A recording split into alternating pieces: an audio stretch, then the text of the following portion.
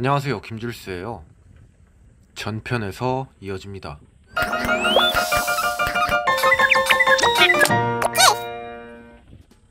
자 밥은 먹고 왔고 이제 다시 작업을 시작합니다.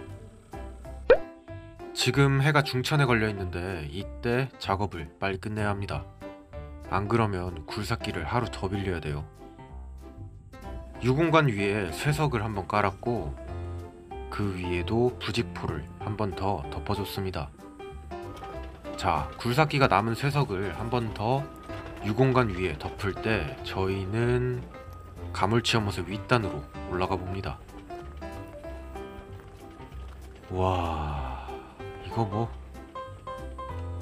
알 수 없는 나무랑 풀들의 천지죠. 여기 있는 게 무슨 나무인지 수종 조사도 한번 해봐야 됩니다. 침엽수랑 쌀이나무 같은 게 있고요. 이건 안녕 생태기사 자격증을 갖고 있는 멜론빵이 톱으로 썰어봅니다. 하나 베는데 10초가 걸리네요.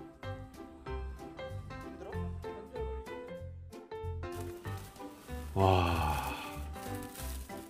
여기 윗단에 부지만 1000평 정도 되는데 이거를 다 언제 저 장난감으로 베고 있죠? 이쪽 부분에는 대체로 쌀이나무, 산초나무, 그리고 소나무와 잣나무, 아까시와 자작나무가 살고 있습니다. 근데 전혀 관리가 되지 않고 있어서 나무가 어떻게 자라는지도 확인이 불가능한 상황입니다. 어... 나무가 성장을 하려면 빛도 잘 들어야 되고 토양도 좋아야 되고 통풍도 잘 돼야 되는데 여기는 진짜 나무까지만 무성하죠. 이 안쪽으로 들어가기조차도 힘든 상황입니다. 그나마 목대가 굵은 이 나무에는 꽃매미가 붙어 있네요. 우와, 저 뒤쪽에는 멧돼지가 파놓은 굴도 있고요. 제가 나무의 수종을 조사하고 있을 때에도 굴삭기는 멈추지 않습니다.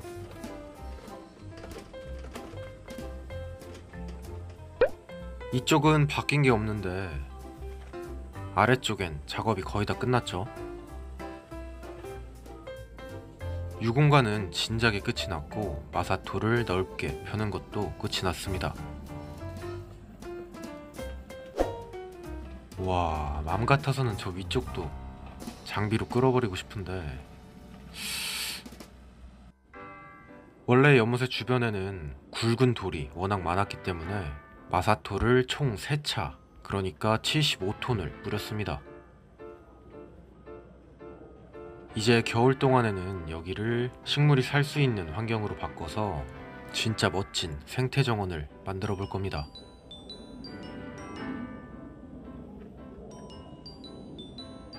오늘 아침에 설치했던 유공관도 확실하게 숨겨졌죠. 와, 근데 여기를 언제 갔구나. 진짜 말 그대로 산 넘어 산이에요. 와.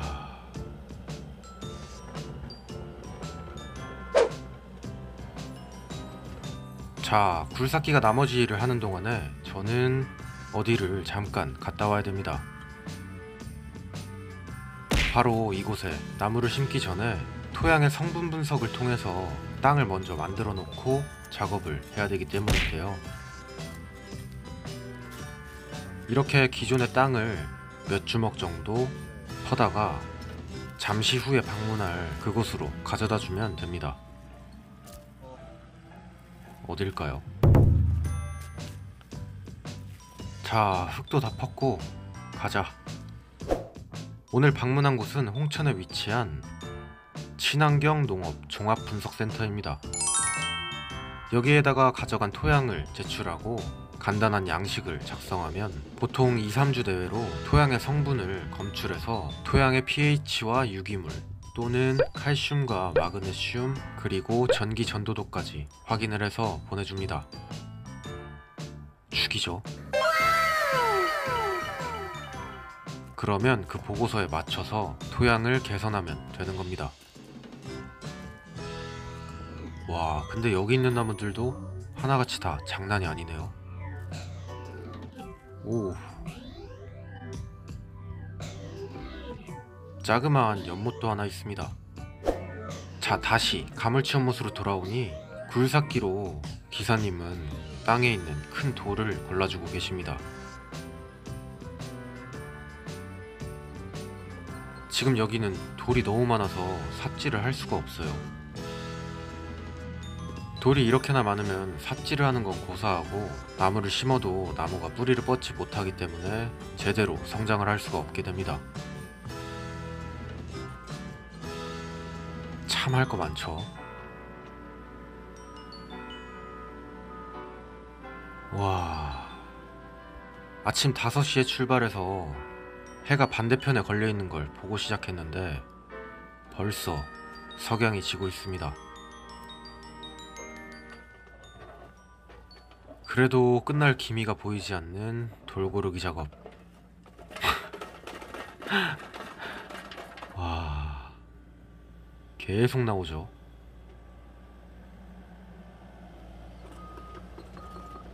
오. 아, 이전 편에서 유공관을 설치할 때 부직포와 쇠석이 순서가 다소 바뀐 건 쇠석이 늦게 도착했기 때문입니다. 그렇다고 장비를 놀릴 수도 없고 굴삭기를 하루 더 빌릴 수도 없고 그 상황에 맞춰서 최대한 유두리 있게 했던 겁니다.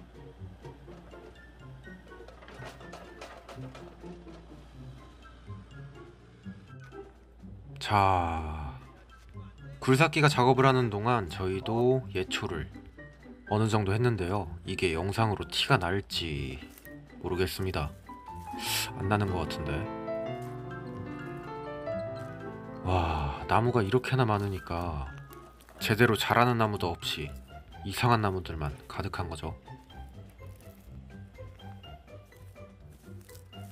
와, 이거 하나 있네요. 그리고 좌측에 소나무 한 그루와 우측에 도토리나무 한 그루. 나머지는 가시가 있거나 성장이 빠르거나 죽은 가지가 너무 많아서 다 정리해야 하는 나무들입니다. 안 그러면 나무를 심어도 자라질 못해요. 연못을 만들 때는 7시, 8시까지 해가 떠 있었는데 지금은 해가 많이 짧아져서 4시만 돼도 석양이 집니다. 와. 이제 슬슬 정리하고 퇴근할 준비를 해야 돼요. 연못 주변에 가득했던 돌도 어느 정도 걸러냈고 이제는 이 흙들을 개선해서 일명 지력을 높이는 작업을 시작할 때입니다. 와. 지력을 높이는 작업에는 보통 퇴비나 유박 또는 화학 비료를 사용하는데 저는 동물들을 키울 거니까 화학 비료나 유박은 최대한 사용하지 않고 친환경으로 갈 겁니다. 와, 이쪽만 500평, 저 위쪽은 1000평. 그리고 집을 짓고 있는 곳이 500평 정도 되는데, 와, 이걸 나무를 몇 그루를 심어야 될까요? 와, 그 와중에 연못은 진짜 멋있죠. 음, 저 장갑 뭐야? 오늘도 크게 한 건 없는데 해가 졌습니다. 자, 그래도 가장 큰 문제였던 물기를 잡았으니까 이제 남은 건 땅만 만들면 됩니다. 차츰차츰 하다 보면 언젠간 완성이 되겠죠? 오늘의 영상은 여기까지 보여드릴게요. 감사합니다. 김줄수였어요. 뿅! 굴삭기는 끝인 줄 알았는데 아예 트랙터까지 도착을 했습니다. 이게 무슨 일이야? 지금 연못에 장비만 3대예요